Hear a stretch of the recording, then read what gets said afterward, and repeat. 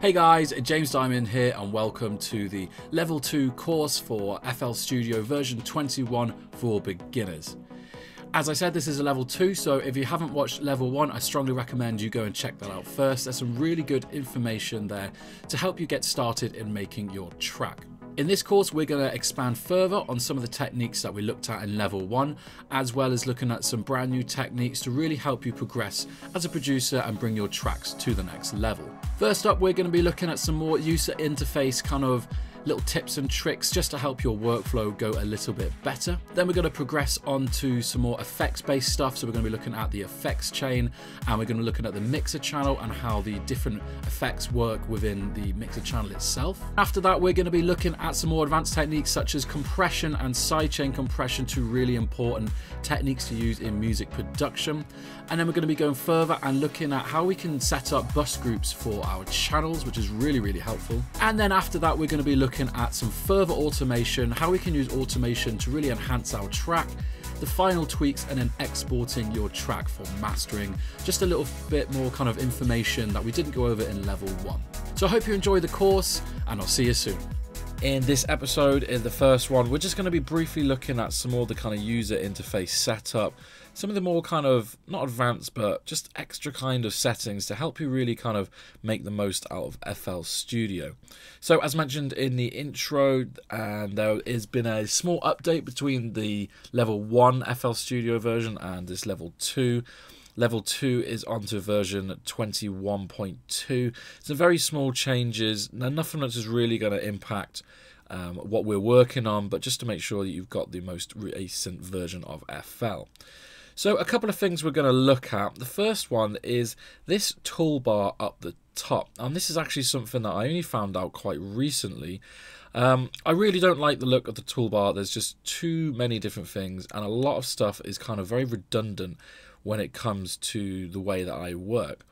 So we've got our kind of standard things like the song and pattern selection, our volume controller, um, press and press and play and stop and then we've got our metronome, some other bits and bobs, and then we've got some other kind of like recording. We've got the plugin picker, um, the project picker, tempo tapper, touch control, and then some other kind of things to get into the FL website.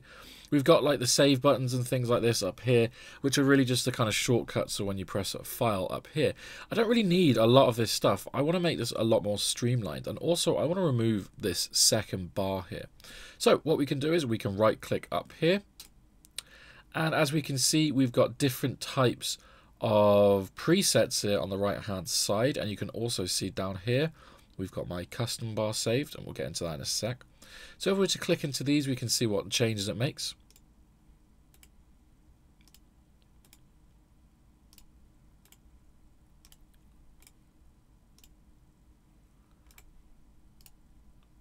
So kind of um, each one has a little bit different kind of style to it, and this single line one, this is kind of what I want to do.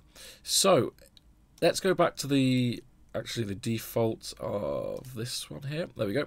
And all we need to go is, is go right click, edit, and we bring up this nice little bar here.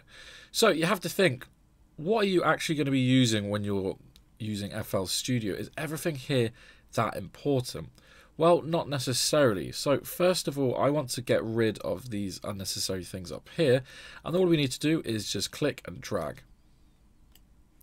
And we can take down all of these. We're clicking and dragging into this bottom area here. And as we can see, we've got other parts that aren't actually included in the top bars themselves. So if we wanted to add these in, we just click and drag and put it up there. So now we've got that copy bar or that copy icon. So let's just get remove that. And I don't really want this kind of um, what's new kind of section, so let's get rid of that. And the same with the shop.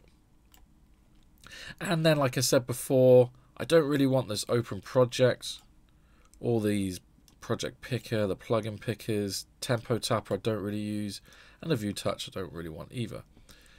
And also, I never, never use the pitch panel like the master pitch, so let's get rid of that. And now I just want to rearrange these, so it's very, very simple. Oh, also, I just want to get rid of the position panel there. And let's get rid of these ones as well. I don't generally use these scrolling options and the multi-link. There we go. So now all we need to do is move these to our desired position on the top there. Uh, we have to do these one by one. So these ones are important. Remember there are playlist, channel rack, and the mixer and the browser. So now that that has been kind of sorted out, and let's actually move this to the right, top right as well. And then we can just click this X button here, and there we go. We've got a nice, clean, single line at the top of your project. Actually leaves more room down here, makes it a lot cleaner. And if you want to, you can save this um, this kind of preset that you've made up here. It will automatically go down to the auto save there, but as you can see, I've got my user preset. So all you need to do is right click edit and then go to auto save and then save preset as, and then you can type it in down there. So pretty sure this is pretty similar to what mine is. So if I just go to James Dymond, yeah, very much the same, exact same kind of setup, except I've just moved the order of the parts themselves. So let's have a look at the mixer. There's this one little thing that you may have noticed in the level 1 course if you've already watched that, I hope you have, is that my effects channels are here on the left hand side. And it's my fault, I should have gone through that when we were talking through that course.